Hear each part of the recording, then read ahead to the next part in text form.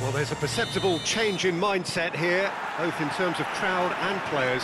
Well, Peter, knockout competitions require knockout mindsets. There has to be a more dynamic edge to the whole approach, whether from going ahead or replying to going behind. This is when the adventure kicks in, and you have to be mentally prepared for a more intense pressure. It's Piątek!